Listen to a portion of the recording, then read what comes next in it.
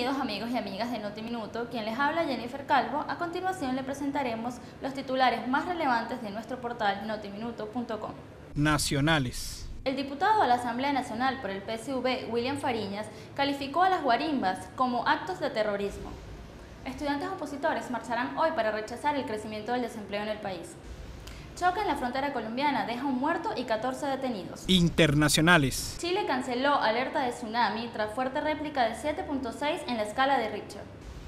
Dos décadas más tarde de la masacre de Carandirú, Brasil condena a los responsables. Deportes.